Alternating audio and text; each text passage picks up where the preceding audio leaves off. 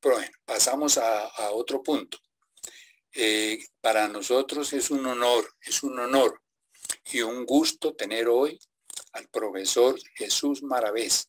Él es eh, de padre francés y de madre venezolana. Él se ha especializado en el conocimiento y el estudio de los de la flora y, no sé si de la fauna, pero sí de la flora de los páramos. Él es doctor en ecología y evolución, investigador científico estudiando principalmente el origen y la diversificación, la ecología y la conservación de organismos tropicales, particularmente de la región andino-amazónica. Que valga decir, especializado en los frailejones. Licenciado en Biología de la Universidad Simón Bolívar de Caracas, Venezuela. Hizo una maestría en la Universidad de Montpellier, en Montpellier, Francia, y después continuó con su doctorado en la misma universidad. Eh, sus temas de investigación y estudio han sido evolución y ecología de organismos de páramo, particularmente las rosetas gigantes o frailejones y mariposas. Este se ha especializado en hibridación en mariposas, en estructura poblacional en organismos de agua dulce, incluyendo caracoles de agua dulce, con importancia en salud pública y los peces y en otros proyectos científicos en conservación biológica, análisis de datos poblacionales para monitorear y evaluar los efectos de las actividades humanas en los ecosistemas naturales, así como las contribuciones de la biodiversidad al bienestar de las poblaciones humanas. Bienvenido, doctor Jesús Mavarés. Es un, es un honor presentarlo y, y, y tiene gran significado que nosotros hayamos podido hacer coincidir sus, sus horarios y sus tiempos para aprovechar esta conferencia. Nos, acompañan también y nuevamente les extiendo un saludo a personas muy importantes. El padre Diego Jaramillo, eh, los miembros de la Sociedad Geográfica de Colombia, el doctor Marco Tulio eh, Sánchez, que por aquí lo, lo, perdón, Marco Tulio Espinosa López, que por aquí lo alcanzo a, a ver su nombre. Muchas personas muy importantes. En este momento tenemos 165 personas que quieren saludarlo y que quieren escuchar su conferencia. Entonces, bienvenido, doctor Jesús Mavarés, y le doy el, el micrófono. Bueno, muchas gracias uh, a la sociedad por la invitación. ¿Me escuchan bien, verdad? Sí, señor, muy bien. Muchas gracias por la invitación eh, y gracias a todos los que están asistiendo a esta conferencia. Veo que hay 160 y tantas personas, muchísimo. Me alegra mucho eh, ver que, que, somos, uh, que somos tantos uh, hoy aquí para mm, escuchar a una persona hablar un poquito de, de frailejones. ¿no? Em, Muchas gracias también por la intervención musical, al señor Castillo, de verdad que estuvo muy, muy bonito. Em, déjenme ver si yo puedo, ah, ¿cómo es? Compartir la pantalla. Eh, es acá y es... Muy bien. Acá. Ven la pantalla ustedes, ¿no? Sí, señor, muy bien. Entonces, bueno, eh, vamos a comenzar. Creo que, bueno, mi nombre es Jesús Mavares y soy profesor del Laboratorio de Ecología Alpina de la Universidad de Grenoble Alpes, en los Alpes franceses. Es un laboratorio que tiene dos, está administrado por dos entidades diferentes. Una es la Universidad Grenoble Alpes y la otra es el Centro Nacional de Investigaciones Científicas de Francia. Entonces, yo soy investigador del Centro Nacional de Investigaciones Científicas de Francia, adscrito a un laboratorio que funciona dentro de una universidad en Grenoble. Ahí está mi correo electrónico para las personas que quieran eh, contactarme luego de la, de la conferencia. Eh, a ver, ¿cómo es que tengo que...? Listo, Entonces, eh, tengo que comenzar eh, disculpándome porque cambié, cuando me enteré que tenía un poquito más de tiempo, cambié el título de la conferencia. Originalmente eran Frailejones de Colombia, ¿cuántos son y dónde están? Ahora la charla realmente va a ser quiénes son, cuántos son y dónde están, porque luego de algunas intervenciones o conversando con algunos amigos y colegas me he dado cuenta que hace falta ponernos de acuerdo primero sobre qué son los frailejones o quiénes son los frailejones de los que vamos a hablar. Entonces, comencemos. Eh, para entender lo que es un frailejón hay que entender dos cosas. Uno es el concepto de rósula o roseta gigante o roseta caulescente, dependiendo de, de, de a quién le pregunten, usan nombres diferentes, que es un tipo de morfología vegetal.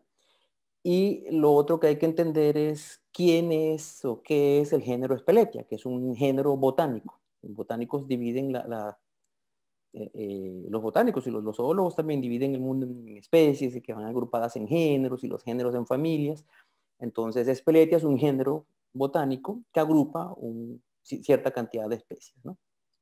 Entonces, hay una relación entre estas tres cosas, lo que la gente llama frailejones, lo que los botánicos llaman espeletia y lo que los botánicos llaman caulirrósula también. Entonces, ¿qué es una caulirrósula? Una caulirrósula es, un, es una roseta, como imagínense una piña o una bromelia, o imagínense un frelejón, ya que estamos en Colombia, pues eh, es fácil decir un frelejón, eh, que generalmente es un, tiene un tronco erecto, vertical, no siempre es así como ya vamos a ver, coronado por una, una, corona de, o una roseta de hojas maduras, verdes, frescas. Entonces hay una roseta de hojas arriba eh, en el tope de un tronco eh, y la planta crece de manera vertical a medida que va generando nuevas hojas, eh, generalmente crecen de manera espiral, se va, el tronco se va elongando también, ¿no?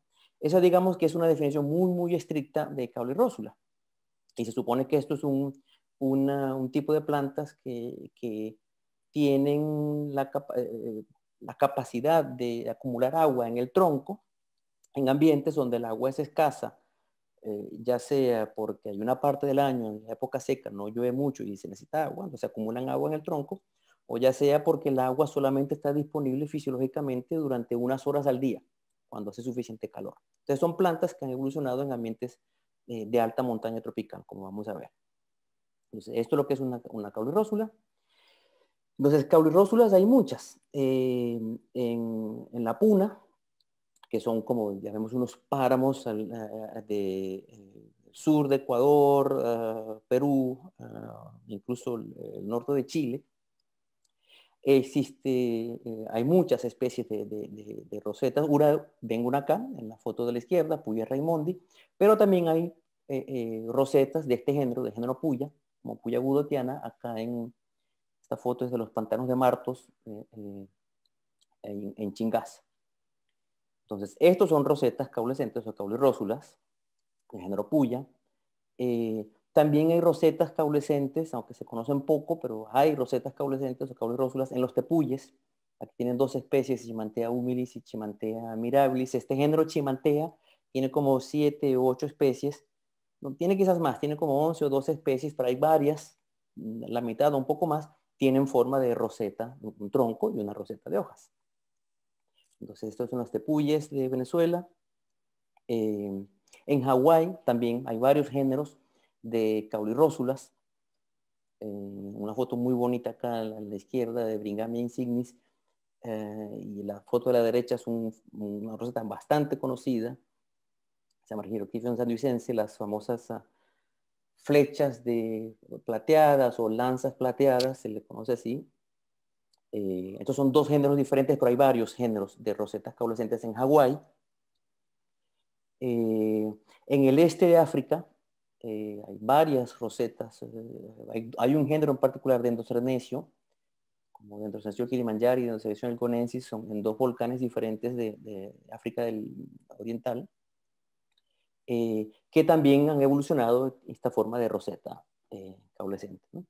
Y en África no solamente están los dendrocenecio, también hay otro género, lobelia, eh, que tiene esta forma de roseta caulescente. El género lobelia también ha generado rosetas caulescentes de manera independiente en Hawái. Entonces ahí el mismo grupo de plantas ha generado o evolucionado en forma de roseta caulescente de caule rósula al menos dos veces, probablemente mucho más. Em, esto es en eh, la foto de la izquierda es en Uganda y la foto de la derecha es en Etiopía. Entonces, como ven, eh, eh, varios de estos, o la mayoría de estos géneros, o los que se conocen mejor, están entre estas dos líneas rojas, que son los trópicos, y generalmente en zonas de montaña dentro del trópico. Entonces están en zonas que podemos llamar ambientes alpinos tropicales o de páramos o supraforestal tropical, dependiendo de a quién le pregunten, tienen varios nombres, pero se refiere a los mismos, montañas tropicales, como Hawái, como los Andes, la Puna y el Páramo, los Tepuyes, quizás es el menos eh, eh, templado o alpino de los sitios de los que estamos hablando, pero pero eh, al menos son, son zonas de montañas altas. El este de África, Etiopía y los volcanes estos del Rif africano. Y otro género del que no hablamos, otro grupo de plantas en, Papúa Nueva Guinea también. Hay, algo que califica como roseta caulescente o rósula hacia allá. Entonces es un tipo de planta que ha evolucionado principalmente en ambientes alpinos tropicales o templados tropicales, o perdón, templados tropicales no, alpinos tropicales o de páramo, que se caracterizan por ser, tener una gran amplitud térmica durante un mismo día. Puede haber, nosotros hemos medido 30 grados, en algunos páramos en Venezuela, 30 grados al mediodía y menos 15 grados en la noche. Entonces, en un mismo día, en menos de 12 horas, estas plantas tienen que enfrentarse a calores extremos al mediodía y a fríos extremos en la noche. Y parece, aparentemente, la roseta caulescente o la caule rósula es un tipo de planta que es una morfología que está adaptada a este tipo de climas. Dejé de último los frailejones, o el género Speletia, perdón, eh, que es el que nos interesa hoy, y es probablemente el más conocido de todos, de, todos, de estos géneros. Enesio, Puya, eh, el que más se conoce, el que ha, estado, ha sido más estudiado y el que probablemente por la forma espectacular de crecimiento que tiene y por el número de especies que tiene, es el más, es el más conocido. No solamente para nosotros en Venezuela y Colombia, sino y en Ecuador, sino en general de las rosetas caulescentes, las espeletias, espeletias es el género más conocido.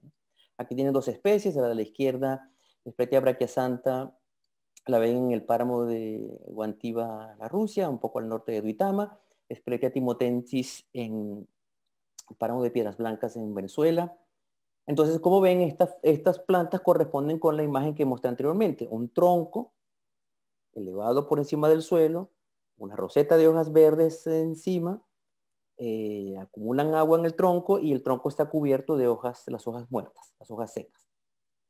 Ahora, hay otras formas de rósula. Eh, por ejemplo, estas dos, la de la izquierda, Speletia purpurascens en el páramo de Tamá, en la frontera entre Colombia y Venezuela, y Spletia curialensis, esta foto es del páramo de Pisba, en Colombia.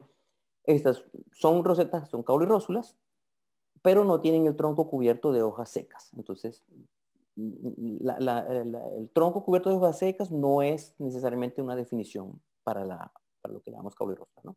Estos son caulirósulas. Tampoco tienen que ser plantas con troncos muy altos.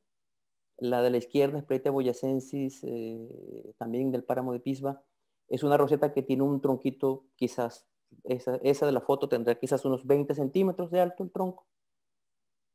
Y la de la foto a la derecha, Spletia nana en Venezuela, que hace honor a su nombre, es una rosetita. Eh, las hojas miden menos de 4, son, son más cortas que mi dedo. Toda la planta mm, cabe en la mano de una persona y es una roseta, una caulerósula, solamente que el tronco es muy, muy cortito, no, no se levanta tanto por encima del suelo. Tienen un tronco, generalmente es un poco subterráneo. Em, hasta ahora todas han sido por lo menos un tronco. Eh, pero eso no necesariamente es así. Estas también son caulirósulas. Eh, Espeletia ramosa, que es una especie que describimos María Teresa Becerra y yo de Colombia eh, hace un año, año y medio. Eh, lo que ven en la foto de la izquierda es una colonia de rosetas. Es decir, hay una raíz, un tronco inicial que crece y se ramifica a ras del suelo Y probablemente esa planta que ven ahí tendrá unas 8, 9, 10 rosetas que comparten, comparten todas un mismo tronco. Entonces, eh, no tiene necesariamente que ser una roseta que se levanta, un tronco único que se levanta por encima del suelo. También puede, puede haber plantas ramificadas, como la foto a la derecha, Espletia marcescens en Venezuela, donde claramente pues, se ve un tronco que se ramificó, ahí habrá también unas tres o cuatro rosetas. En Colombia hay un par de especies que tienen este tipo de crecimiento, Espletia pleiocasia y Espletia garcía. Las ven en, Espletia garcía la ven en el páramo de Iguaque, el santuario de Iguaque, y Espletia pleiocasia está en muchos, muchos páramos de la, eh, de, Boyacá, pero también entra a Cundinamarca. Estas especies crecen generalmente en zonas de páramos muy bajitos, prácticamente donde el páramo y el bosque se, se mezclan. Y hay árboles también, pero ya estos, dentro, en el género Espeletia, tenemos árboles como la de izquierda, Espeletia nerifolia, que también está en Colombia, se distribuye ampliamente en Venezuela, entra a Colombia también, y Espeletia párvula, la foto de la derecha de Venezuela, eso es un arbusto que no tiene ni un metro de alto y están en género Espeletia, solo que ya aquí la gente pues no los llama, no los reconoce como frailejones. Los botánicos sabemos que son Espeletia, pero nadie llama a estas plantas uh, frailejones. nadie no, pues, muy pocas personas lo llaman frailejones. Tienen otros nombres comunes. Eh, el nombre frailejón, sin embargo, ya decimos, ok, el nombre frailejón está asociado al a las caulirósulas, a las eh, rosetas caulescentes y principalmente de género espeletia? Sorprendentemente no. En la foto de la izquierda de Senecio formosus eh, de Venezuela, hay una especie muy parecida en Colombia, Senecio formosoides. Eh, la gente lo llama frailejón, frailejón morado, le dicen en Venezuela a este, y no es, un, no es una roseta. Bueno, hay una pequeña roseta de hojas en la base, pero no, no es de espeletia y no es una roseta y la gente lo llama frailejón morado. La foto de la derecha de la, estaba hasta hace poco en la, página web de la alcaldía de Bogotá, ya no está, afortunadamente tengo una, copia de la foto, es del santuario, del Monserrate. Cuando ustedes suben a Monserrate, las personas que nos escuchan o nos ven desde Bogotá, se consiguen justo donde cuando uno sale del teleférico, hay un pequeño jardincito con estas plantas que están viendo ahí, Senecio Nibio aureus, y tiene un cartel, desafortunadamente no tengo una foto, que dice frailejón plateado. Entonces, estas plantas mm, se les conoce como frailejón plateado y mucha gente los llama frailejón plateado, pero no son del género Espeletia. Entonces, si resumimos todo eso, eh, eh, eh, nos damos cuenta que lo que, olvidé decir, frailejón es un nombre común, el nombre que usan las personas que no necesariamente estudian estas plantas, y caulirósula y espeletia pues son términos más bien botánicos. ¿no? Entonces lo que la gente llama frailejón, generalmente o en su gran mayoría, las personas entienden que son plantas del páramo, lo que está representado por ese cuadrado rojo en la imagen. muchas personas entienden, un frailejón es una planta del páramo. Y para la mayoría de las personas son plantas del páramo con forma de caulirósula que sería, yo no sé si ustedes ven el cursor, sería esta flecha, este, este sector acá, de grupos que son el género Espeletia, las que son caulirrósulas, la gente los llama frailejones. También llaman frailejones a otras caulirrósulas, paepalantos, otros géneros, que son de páramo y, tienen, son caulirrósulas, la gente los, llama frailejones. Eh, se llama también frailejón a otros, a otros géneros que no son caulirrósulas, pero son plateados o muy pubescentes, peluditos, pues podemos decir. Entonces, plantas del páramo muy peluditas, algunas personas lo llaman frailejón. E incluso, como vimos, algunas personas llaman frailejones a plantas que no son del páramo andino, sino del, entre comillas, del páramo africano, porque son rosetas caulescentes. Entonces, hay como una mezcla acá de cosas. Eh, eh, si es una roseta y es del páramo, probablemente se le llama frailejón y si es muy pubescente y plateado y es el páramo, también lo llamamos eh, frelejón. Pero otras rosetas, si no son del páramo, no se le llama frelejón. Entonces, en esta confusión de términos, em, yo no digo que, hay que imponerlo, no, pues, la gente llama las plantas como quiere llamarlas, ¿no? Pero desde el punto de vista botánico, eh, el nombre eh, frailejón, que de hecho lo usaba Mutis su obra, porque cuando Humboldt y Bonpland describen el género Speletia a partir de información que les había dejado Mutis, ya en la descripción original del género Speletia de Mutis, de Humboldt y Bonpland de 1809, aparece el nombre frailejón y citan a Mutis. Dice, estas plantas los, eh, eh, se conocen en la zona de Bogotá como frailejón. Entonces, para la mayoría de los botánicos, y para muchas personas también, eh, los frailejones son lo que está aquí en la línea del el rectángulo punteado. Es decir, son el género Speletia, las rosetas caulescentes, que pueden ser ramificadas o no, eh, erectas o sésiles, con tronco con hojas secas o no, pero al menos son rosetas caulescentes. Eh, yo eh, prefiero usar para evitar la confusión de que cuando digo frailejón es una parte del género Speletia, pero no otra. Yo prefiero simplificar y hacer, eh, eh, cuando hablo de frailejones para mí, pero en eso pues es algo particular, yo hablo de todas las plantas del género Speletia. Y de lo que vamos a hablar en el resto de esta charla, de esta conferencia, es de todas las plantas del género Speletia, sean frailejones, sean caulescentes, rosetas caulescentes o no. Bueno, entonces eso para la parte de frailejones, ¿quiénes son? Son las rosetas caulescentes del género Speletia y, para el día de hoy, los arbolitos también del género Speletia.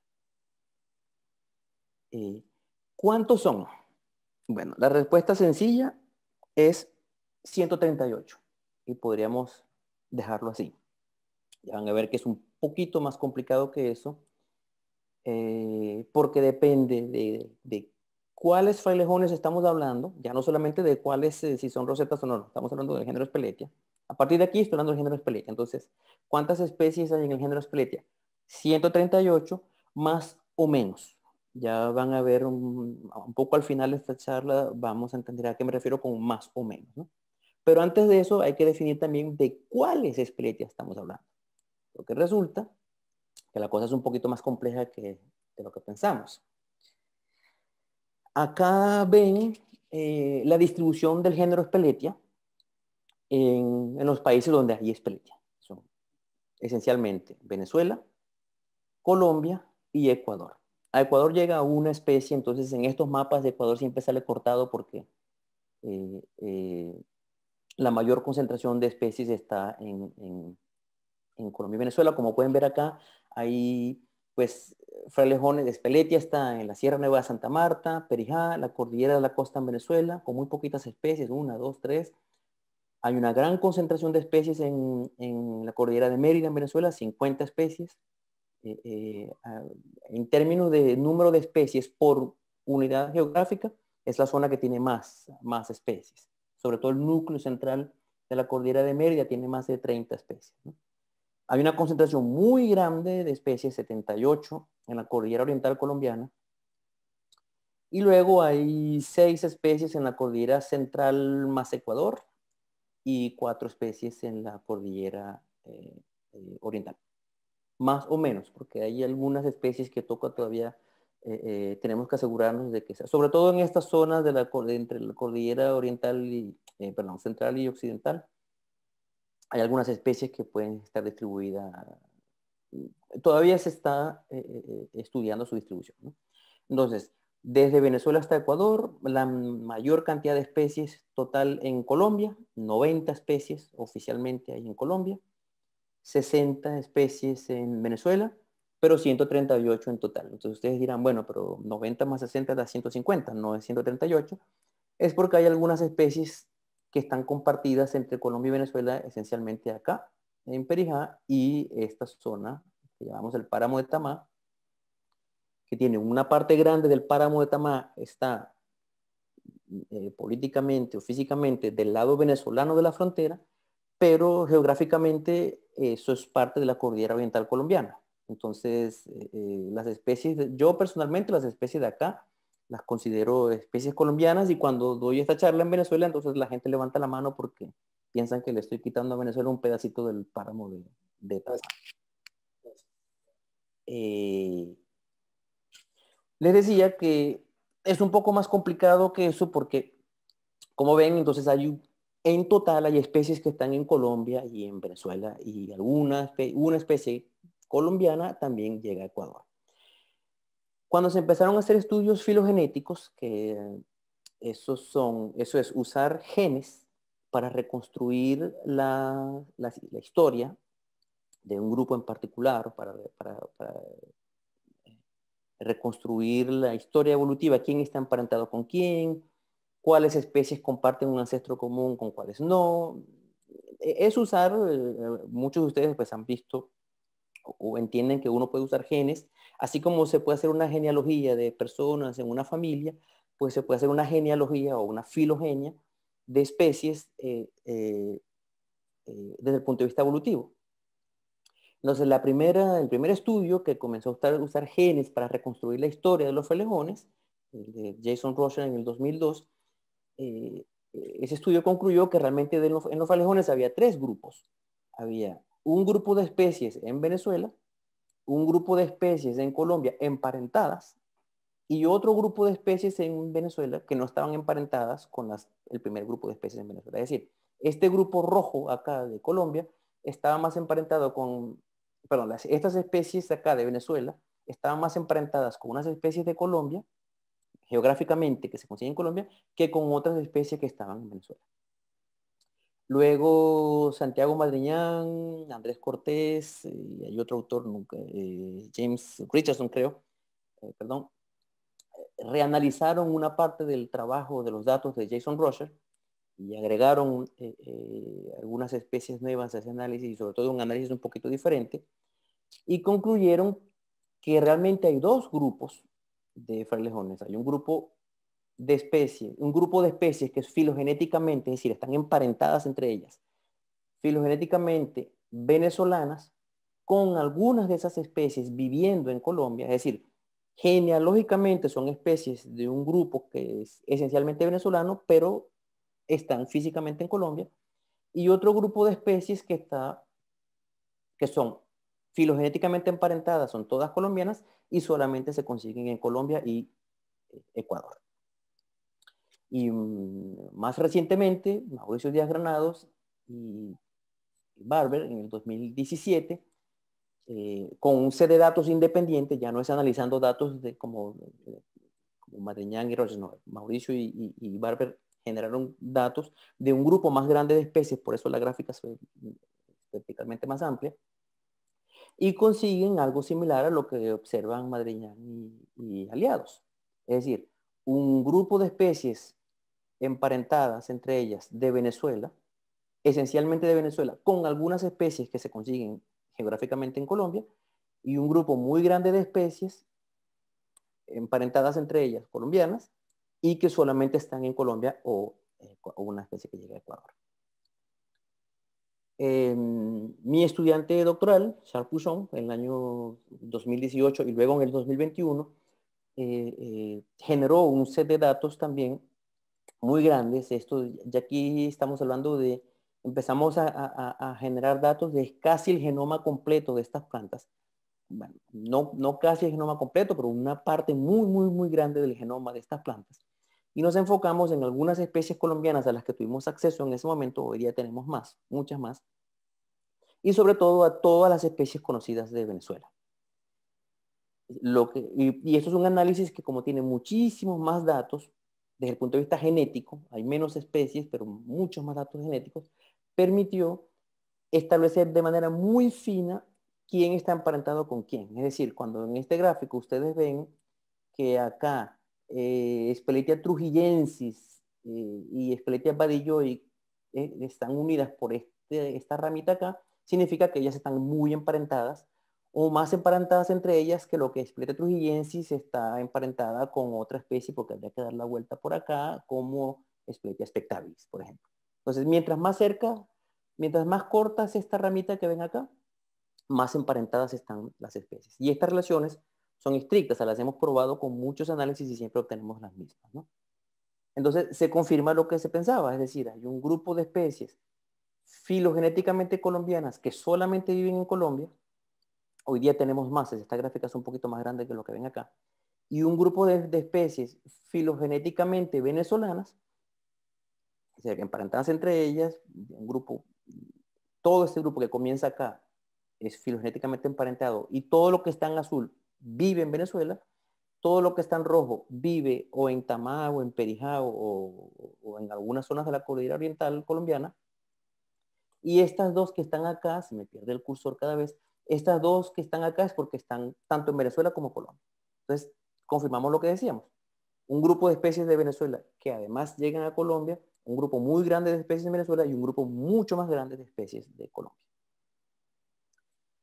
Cuando esto se traduce en un escenario geográfico, eh, tenemos lo siguiente. Eh, esta imagen es un poco extraña porque es como ver la cordillera, los Andes del norte desde de, Colombia hasta Venezuela en una perspectiva un poco lateral. Lo que hoy día sabemos es que los frailejones surgen si esta línea señala, esta línea punteada señala la frontera entre Colombia y Venezuela, eh, aquí estamos poniendo que el ancestro surge en Venezuela, pero realmente no sabemos. Hoy día no sabemos si el ancestro de todos los felejones estaba en Venezuela o, estaba en Colombia. Aparentemente estaba en Venezuela, aparentemente, pero no tenemos muchos datos que confirmen eso. Y de todas maneras sería una región muy cercana a, la frontera entre ambos países, la frontera actual entre ambos países, ¿no? porque esto surgió hace un millón y medio de años. Entonces, eh, el ancestro inmediatamente o muy rápidamente genera dos tipos de frailejones o de espeletia.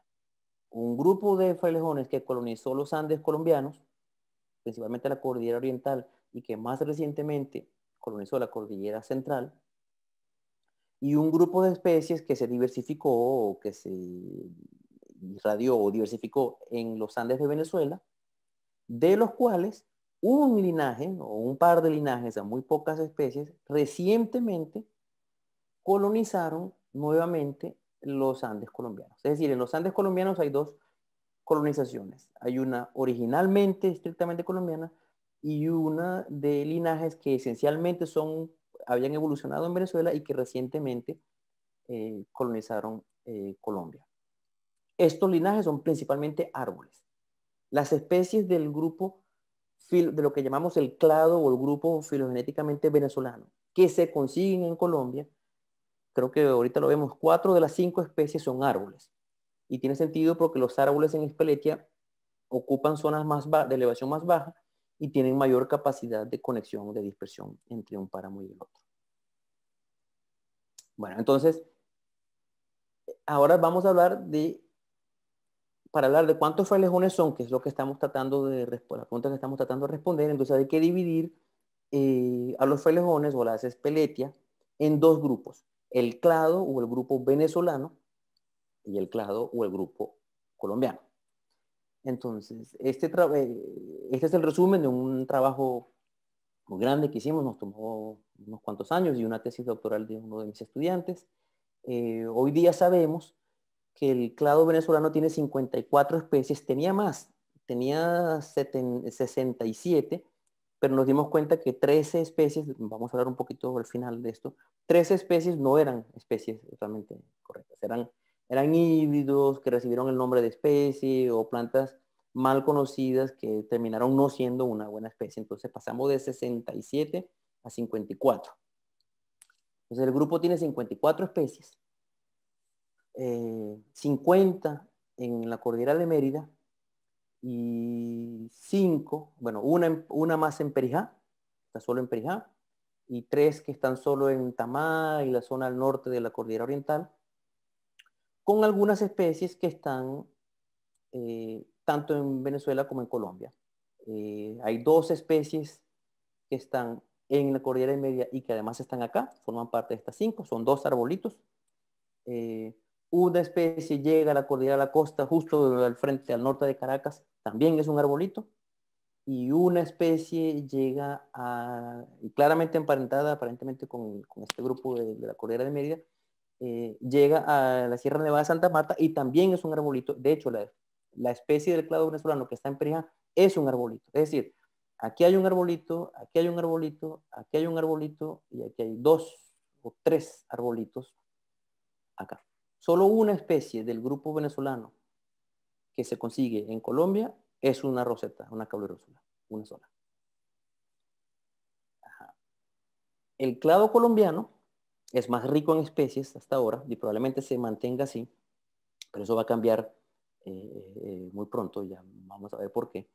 El clado colombiano tiene 84 especies, 73 de ellas en la cordillera oriental, imagínense la cantidad de especies que hay en la cordillera oriental, 73 en la cordillera oriental, dos en Perijá, entonces es decir, en Perijá hay especies, hay tres especies de, los dos clados diferentes, un arbolito del Venezuela y dos de rosetas de Colombia.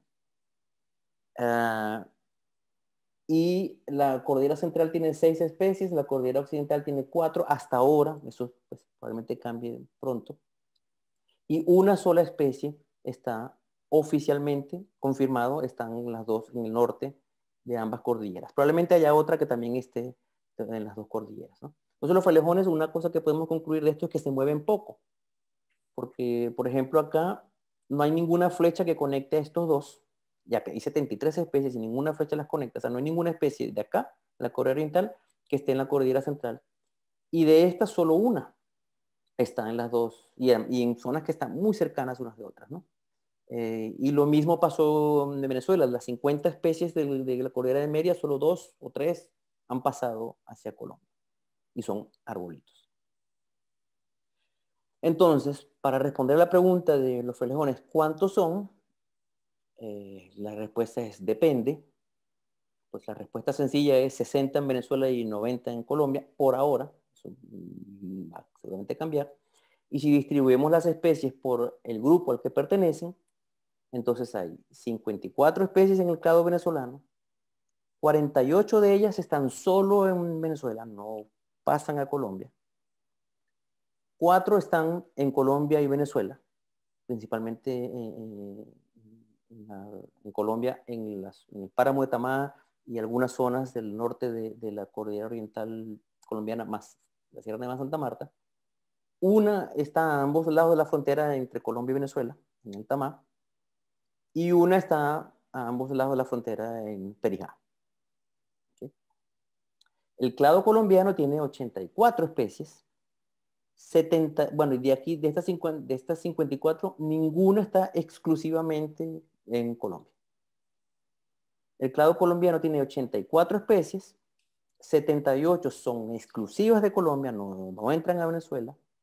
Dos están en Venezuela también porque están en Perijá y cuatro están en Venezuela también porque están en el Tamá. Ninguna está ampliamente distribuida en Colombia y Venezuela y ninguna especie está solo en Venezuela.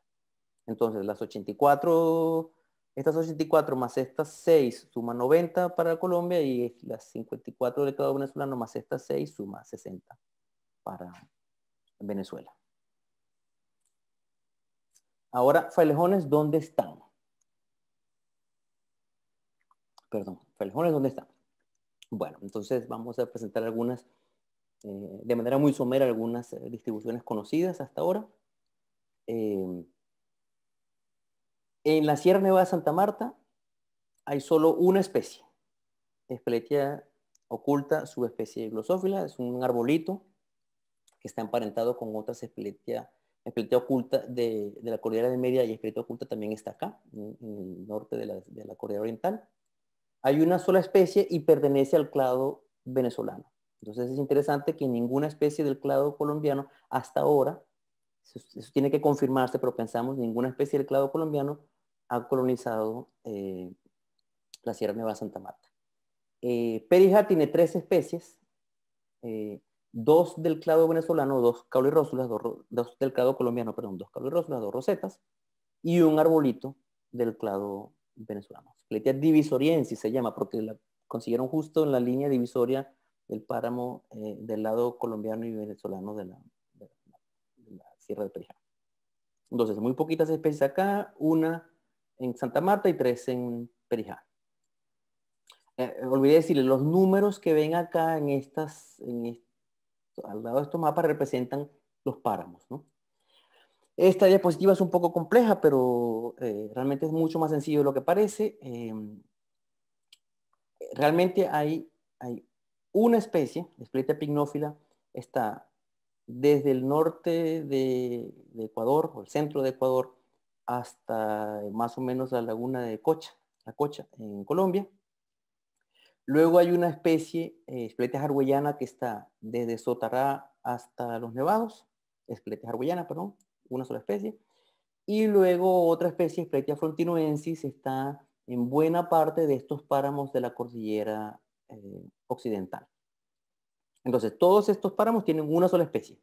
Espletia pignófila en toda esta zona, Espletia argüellana en toda esta zona, Espletia frontinoensis en buena parte de esta zona, y luego hay una especie acá, reciente, es la más que se conoce, se describió más recientemente, Espletia restricta de Sotará, y Espletia marnixiana acá en Cerro Plateado. Entonces, todas esas zonas tienen una sola especie de frelejón. Dos con distribución restringida y tres con distribución amplia. La única excepción a este patrón de un páramo con una sola especie está acá, en, alrededor de la laguna de la Cocha, donde además de Espletia pignófila, en la vertiente amazónica se puede conseguir Espletia schultesiana. Eh, acá en el páramo Las Moras o el páramo de Moras, Espletia argüellana coexiste con otra especie, Espletia hidroboy. Y esta zona acá, al norte de tanto cordillera tanto central como occidental, hay dos especies más, Espletia occidentalis, eh, que es una que está justamente a ambos lados, y Espeletia mm, prefrontina del páramo de Frontino Urrao. Entonces, acá quizás haya dos o tres especies, acá quizás haya una o dos, en todo esto hay una sola, excepto aquí donde hay dos, aquí hay dos, y en todos estos páramos hay una, quizás dos, porque esas especies se conocen muy mal. Donde la cosa sí se pone complicada es en la cordillera oriental, porque eh, pues, como les dije, 78 especies en total, 73 del clado colombiano y más 5 del clado venezolano. Entonces acá no podemos permitirnos hablar de, cada páramo y de cada especie, pero sí podemos eh, notar algo y es que esta zona acá central, eh, páramo de Guantíbala Rusia, eh, páramo de Pisba y Tota Viejagual Mamapacha, tiene una gran concentración de especies. El, páramo de Guantíbula Rusia creo que tiene 21, ¿sí? 21 especies hasta ahora. Hay 18 en Pisba y como creo que 15 en, en Tota Viejo Mapache. Entonces, una gran concentración de especies en estos páramos de acá. Eh, muchas especies también acá, pero en menor medida. En los páramos de los Santanderes, ah, localmente, pues hay entre 8 y 12 especies, entre 10 y 12 especies. Eh, en algunos páramos hay mezcla de, especies del clado colombiano y del clado venezolano, pero la mayoría son especies del clado colombiano. Y luego esta zona al sur de la cordillera oriental también tiene menos especies que la zona central. Acá varía localmente entre 6, 8, 10 especies. Eh, y estos dos páramos acá, los picachos y miraflores, eh, tienen una especie de freleón. Entonces, hay un gradiente desde el centro hacia el norte y un gradiente de diversidad desde el centro, muy notable desde el centro hacia el sur. Esto lo podemos ver mejor acá, esas relaciones. Em, si dividimos la cordillera oriental en cuatro sectores, el sector norte, el sector centro oriental, centro occidental y el sector sur. Esos sectores no, son, no están definidos de manera arbitraria, están definidos eh, siguiendo las distribuciones de las especies conocidas hasta ahora en esos páramos. Entonces, por ejemplo, este sector norte, que es básicamente eh, jurisdicciones Santurbán, Berlín, Almorzadero y Tamá, tiene 19, si juntamos todos esos páramos, hay 19 especies de espeletia más 5 del, del grupo venezolano, que son esencialmente los arbolitos de los que les mencioné y una roseta el grupo, la región centro-oriental, entonces sería todo lo que es Cocuy, eh, Pisba y, y Tota Mamapacha. Tiene 29 especies más una especie del grupo venezolano. La región centro-occidental, que incluye a Iguaque Merchán, Guerrero, eh, Rabanal, Río Boyacá, Río Bogotá y, y la Rusia, también tiene 29 especies más una especie de clado grupo venezolano que se consigue aquí en Yariguíes. Y toda esta zona sur, que es eh, Chingaza, Sumapaz y uh, Picachos y Miraflores, tiene en total 10 especies. Lo que es interesante de esta, lo que llama mucho la atención de, esta, de, este, de este mapa y esta distribución de especies, es la poca cantidad, o sea, los números que les acabo de dar son los números grandes estos que aparecen acá, 19, 29, 29 y 10. Los números en las flechas son los es el número de especies compartidas entre estos sectores, ¿no? Entonces, por ejemplo, el sector norte y el sector centro oriental, a pesar de tener una conexión de páramo casi continua, comparten solo una especie del clado venezolano más una, una especie del clado venezolano, la que está entre paréntesis, y una especie del clado colombiano, flecha peciolata. Eso puede cambiar, quizás alguna especie se va a descubrir que esté acá y esté acá, pero en general son muy pocas especies a pesar de que el ambiente de páramo es prácticamente continuo. Entonces, acá hay una barrera a la distribución de los frelejones. Entre el sector norte y el sector centro-occidental, no hay ninguna especie compartida del clado colombiano y solamente hay un arbolito del clado venezolano que llega aquí a Gariguíes, perdón. Eh, ah, esto es interesante también. Eh, estos dos sectores, el sector oriental, centro oriental y centro occidental, comparten nueve especies, parece mucho, pero estamos hablando de nueve especies de un pool, un, un conjunto de 29 acá y de 29 acá. Eh, hay nueve especies que han dado el salto entre este sector y este sector y ocho de ellas son especies que soportan o preferentemente viven en ambientes secos, en páramos secos. Las especies de páramos húmedos no, no hay especie, con una excepción, eh, eh, hasta donde yo sé, mm, eh, solo una especie que prefiere los ambientes húmedos se consigue en este sector y en este sector. Es decir, que el, valle de Chicamocha, la cuenca de Chicamocha, es definitivamente una barrera para los frailejones y los únicos que logran dar el salto de un lado a otro, que han logrado hacerlo, son, son de zonas secas. Eso genera malas perspectivas o perspectivas poco optimistas para, estos escenarios de cambio climático, si tenemos que suponer que los falejones tienen que moverse y además son falejones de zonas húmedas, pues va a ser un poco más complicado. los falejones de zonas húmedas son más vulnerables, en teoría, que los falejones de zonas secas. Eh, entonces, volviendo, retomando el tema de los humedales del que hablamos al principio. Y luego ahí esta zona, como les dije, tiene 10 especies, una compartida con la zona centro-oriental y cuatro, pues la conexión entre Chingaza y Guerrero es mayor, eh, cuatro especies, eh, eh, todas también de zonas secas, entre el, sector centro-occidental y la zona norte de Sumapaz. Entonces, hay aquí unos temas interesantes de investigación, cuál es la barrera acá, qué es lo que hace que los falejones no, den, no se muevan del norte hacia, hacia el centro oriental, eh, y qué tan fuerte es la limitación de dispersión de frelejones de zonas húmedas para que no haya, con una excepción, en Murilloy, no haya muchos frelejones que se muevan entre un páramo y otro si entre ambos páramos hay una zona seca. Eh, otro tema interesante acá es la poca concentración de especies en particular que hay en Cocuy. Eso ya creo que lo tomaremos justo al final de esta charla. Eh, bueno, eh, retomando un poco, dijimos, ¿quiénes son los frelejones? ¿Cuántos son y dónde están? Bueno, aquí hay una, eso hasta ahora hemos hablado de datos, o sea, lo que sabemos. Aquí voy a permitirme hablar un poquito sobre lo que no sabemos y sospechamos o pensamos. Entonces, mezclando cuántos son con dónde están. Lo que ven acá es una curva de acumulación de especies a lo largo del tiempo, desde los tres primeros frelejones que se describieron en 1809 por Humboldt y Bonpland, aunque ya se conocían, Speletia, los frelejones, ya muchos se conocía, pero la, publicación que describe el género Speletia es de Humboldt y Bonpland en 1809. Eh, y hay tres momentos en el tiempo, entonces ese es el número de especies, ha ido acumulando, empezamos con tres acá y hoy día tenemos 138 ha habido tres momentos de aumentos notables en el número de especies que se conoce, es decir, aumenta muchísimo la tasa o el número de especies que se describen por periodo de tiempo.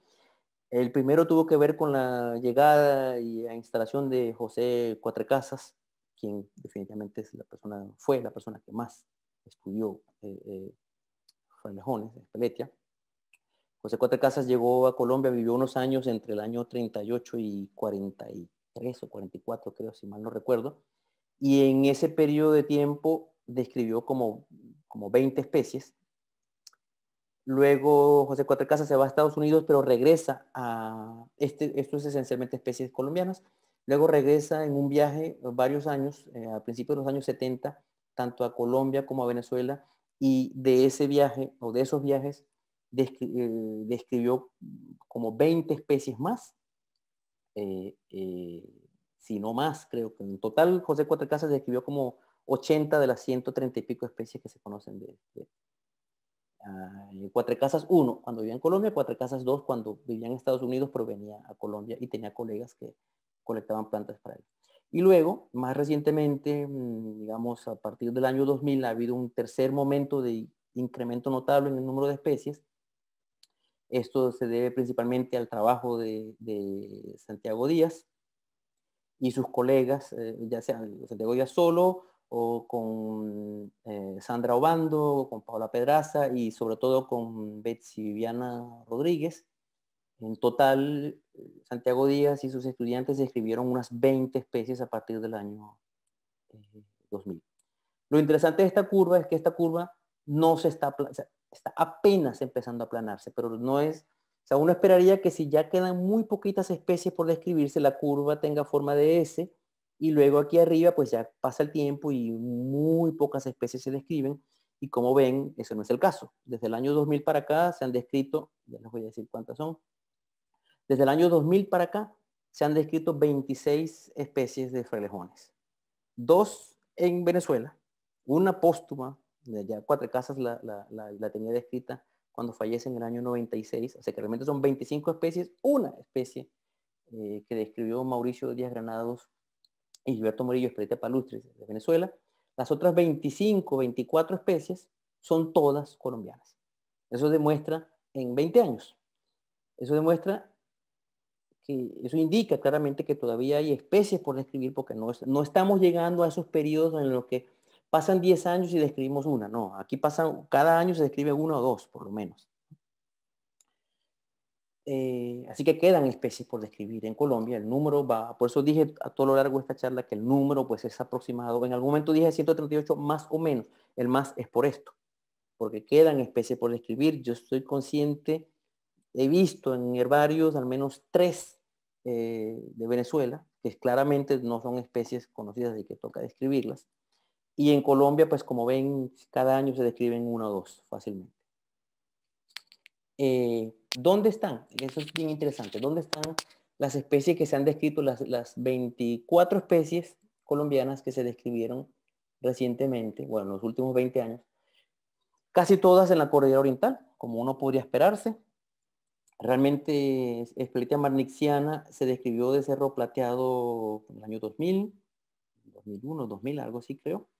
Y Espeletia restricta se describió justo el año pasado, de acá del páramo de Sonsón. El resto son todas de la cordillera oriental. Este sector, por supuesto, Pisba, Tota Vieja Balma Mapacha, Guantío la Rusia y, Guerrero, de allí se han descrito unas 20, 19, 20 especies, eh, gracias al trabajo esencialmente de, de Betsy Viviana Rodríguez con, Santiago Díaz y Espiedraíta. Eh, creo que de Pisba describieron así, aquí está, de Pisba describieron nueve y de la Rusia cuatro en, los últimos 12 años. Eh, lo interesante de esto es que la mayoría de estas especies que se describieron están apenas unas horas de carretera de, una ciudad. Esto, ninguno de estos páramos de acá, Pisba, eh, la Rusia, Guerrero o mm, Totavia Gualmapacha, están, están realmente muy lejos de Bogotá. Eh, Tunja, tiene botánicos, tiene herbarios, eh, eh, Sogamoso también, son ciudades grandes, paramos muy cerca de, donde vive la gente. Y aún así se describen especies que o nadie había visto o alguien había confundido con otra especie antes. De acá de arriba de igual, mm, Bucaramanga, la Universidad Industrial de Santander están acá arriba, acá, no, perdón, aquí al norte, eh, mm, tres especies recientemente, eh, eh, realmente las únicas especies de zonas con acceso medio difícil son espletia restricta. Yo nunca he ido, así que no sé qué tan difícil es el acceso al páramo de Sonsón. Creo que es una especie que habían confundido simplemente con otra, porque hay varias muestras de herbario previas a la descripción de la especie. Y esta sí, espletia marnixiana de cerro plateado, sí es una zona de acceso complicado. Eh, ¿Dónde queda trabajo por hacer? ¿Dónde sospechamos que hay eh, todavía especies por describir? En muchos sitios, pero seguro porque hemos visto material de herbario y pensamos que hay cosas por hacer. Eh, este, esta zona de los páramos de Citará,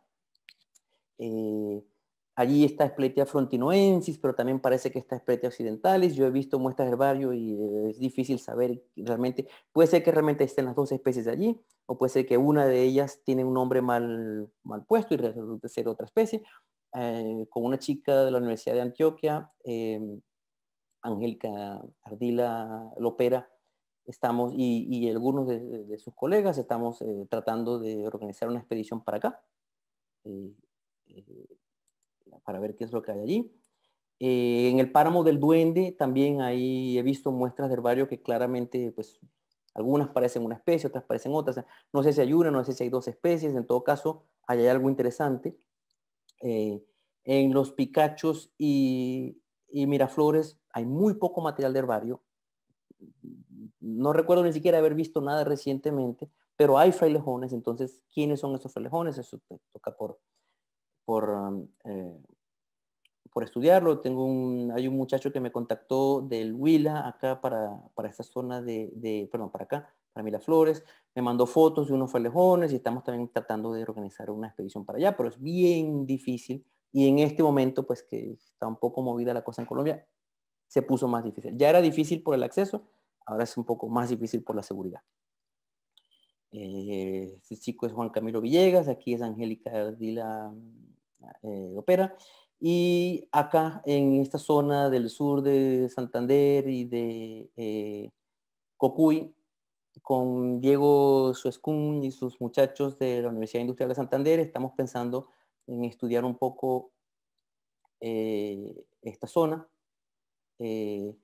porque resulta sorprendente que haya menos especies acá que aquí o acá, a pesar de que acá en esta zona hay muchísimo páramo disponible. Entonces con Diego y sus estudiantes estamos tratando de organizar algunas eh, salidas de campo, algunas expediciones para revisar esta zona acá al sur de Santander, Cocuy y de repente un poquito aquí al norte de, de Guantiva, la Rusia. Eh, en todo caso, eso es para lo que tenemos acceso caminando, pero estas zonas aquí marcadas en azul realmente requieren lo que nosotros llamamos en Venezuela mucho aceite de rodilla. Son horas, días, perdón, horas, días de camino. Y pues acá la ayuda de, la, ayuda de, para organizar expediciones para allá con las corporaciones regionales o no, no sé cómo, quizás con la misma sociedad geográfica colombiana, sería bienvenida, porque hay falejones para describir por allí, para estudiar, pero el acceso es bien difícil. Eh, les dije que había, ya con esto prácticamente terminamos, les dije en algún momento que el 138 más o 138 menos. El más es lo que acaban de ver. Claramente faltan especies por describir de felijones, sin ninguna duda. Hay varias especies por describir en Colombia y en Venezuela. Quizás más en Colombia que en Venezuela. Pero también hay especies que estudiar pensando en que quizás no sean buenas especies.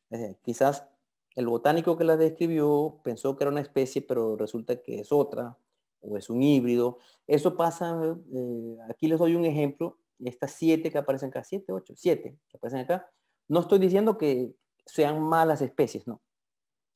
Estoy diciendo que todas estas especies se conocen de un, un solo ejemplar. O sea, un individuo se colectó, se describió y se depositó en herbario y no hay otros individuos confirmados. Probablemente haya otros individuos colectados en el barrio que no han recibido el nombre, pero en todo caso no deben ser muchos.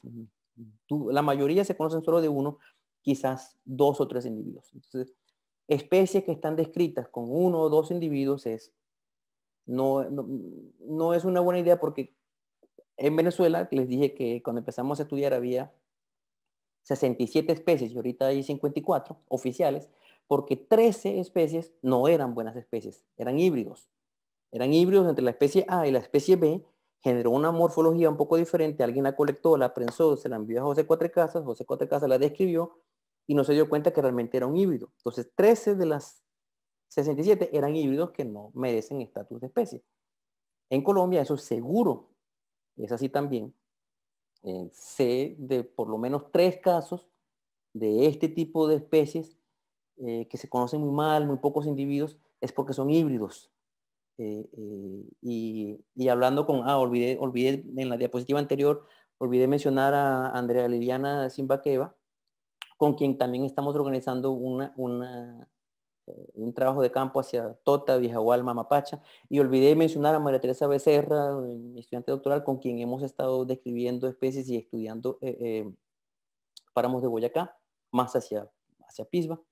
Entonces menciono a Andrea Liliana porque ella piensa que alguna de estas especies son híbridos y yo las he visto y también estoy de acuerdo, son, son, son híbridos, no, no merecen estatus de especie. en este grupo de las que se conocen muy mal. Y luego hay varias especies, hay varios pares de especies, como Spletia prefrontina y Spletia frontinuensis, que es muy difícil saber quién es quién. O sea, es posible que realmente sea una sola especie muy variable y que ha recibido dos nombres. Es posible, no estoy diciendo que ese sea el caso, pero hay que estudiarlo para saber si, pues, si prefrontina es una especie aparte de Spletia frontinuensis o si realmente es una sola especie que es muy variable. Y lo mismo sucede con... Em, con pisbana y Spletia formosa. Es bien difícil, e, en teoría los individuos tipo, los individuos que se usaron para la descripción son muy diferentes, pero uno va al campo y es muy difícil saber quién es quién. Probablemente sea una sola población, una sola especie morfológicamente variable. Entonces hay trabajo por hacer en Colombia en ese sentido, lo cual probablemente reduzca un poco el número de especies oficiales. Pero eso está bien, porque así funcionan estas cosas y así entendemos como eh, la taxonomía es una ciencia dinámica y pues esto, así como va a aumentar por un lado, va a disminuir por el otro. Yo pienso que en términos generales es más lo que se va a aumentar que lo que se va a disminuir, pero hay que estudiarlo. Eh, para las personas que estén interesadas, este, mi página de ResearchGate, que aparece allí, pero simplemente si escriben en Google ResearchGate, Jesús Mavares le va a aparecer. Eh, hay varios artículos sobre estos temas. Este, los artículos de taxonomía he tratado de concentrarlos todos en, una misma revista, Harvard Papers in, Botany. Eh, la taxonomía del clado venezolano lo publicamos en el 2019. Luego hicimos una clave, que es una, clave pictórica, es una clave, es lo que usan los botánicos para...